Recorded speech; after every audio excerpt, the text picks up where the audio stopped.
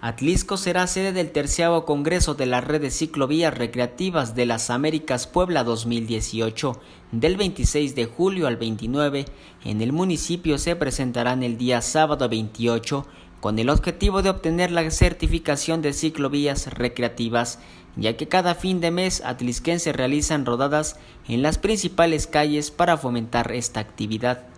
Es un congreso eh, latinoamericano que Puebla será sede del día 26 al 29 de julio. Y Atlixco este, va, a estar un día el congreso que es el sábado 28. También Atlixco será sede. Y este, pues la intención es que tengamos también la certificación por parte de la red de ciclovías de Latinoamérica para que Atlisco nos certifiquemos como este vía recreativa, ¿no? que es lo que hacemos este cada domingo, este fin de mes. Víctor Zapata, presidente del colectivo Visitlán, mencionó que esta actividad que realizan consiste en cerrar calles y crear un espacio para la convivencia familiar. De la misma forma, incluir el deporte, dejando que los vehículos no motorizados bicicletas, patinetas y triciclos puedan desempeñar sus actividades al aire libre sin preocupación de los automovilistas.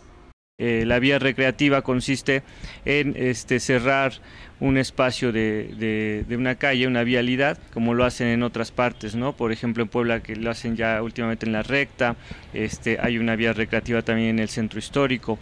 Entonces, en Atlisco también tenemos vía recreativa y es un espacio ¿no? que se cierra a los automóviles y se abre para los vehículos no motorizados como las bicicletas, patines, este, patinetas, triciclos. Entonces es un espacio que se abre a la ciudadanía para la convivencia y diferentes actividades. Las actividades son diferentes ya que el colectivo Bicitlán cuenta con escuelas de iniciación del ciclismo, así como juegos tradicionales para practicar, clases de yoga y fútbol, ante ello, el ayuntamiento apoya estas actividades en cerrar las vialidades y agilizar el tráfico vehicular. En Atlisco, por ejemplo, tenemos una escuela de iniciación en ciclismo para los que no saben andar en bicicleta.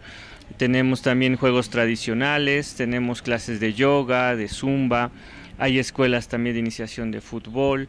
Este, estamos en conjunto con el ayuntamiento, nos apoyan también para cerrar la vialidad y, este, y que sea un espacio de convivencia. Sin embargo, la cultura de estas actividades proviene de otros países que los gobiernos han practicado, la cual les ha dado muchos beneficios. Es por ello que las ideas las aterrizan en Puebla. Como ejemplo está el estado de Guadalajara, que por varios años han conservado esta actividad obteniendo resultados favorables en casi ocho años. Pues es un programa este, internacional, ¿no? Que muchos gobiernos lo han tomado y este es el, ejemplo, ¿no?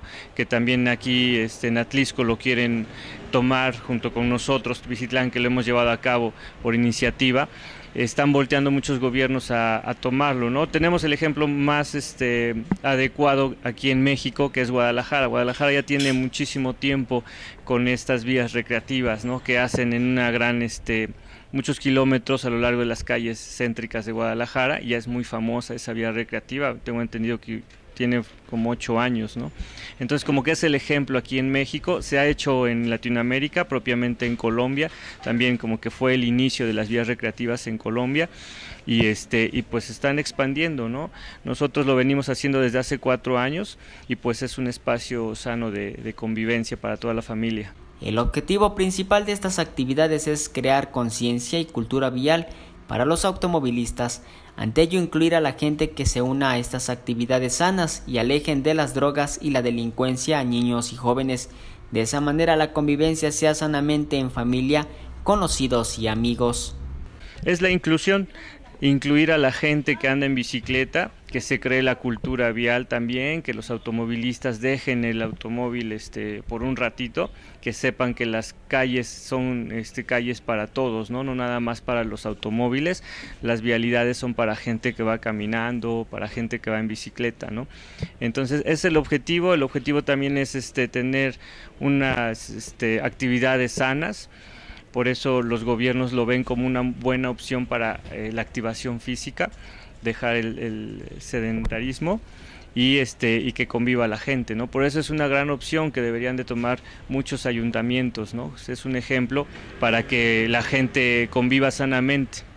¿Cómo Finalizó invitando a los atlisquenses que participen el día 28 de julio, ya que la principal actividad del Congreso es la demostración de la Escuela de Iniciación en Ciclismo.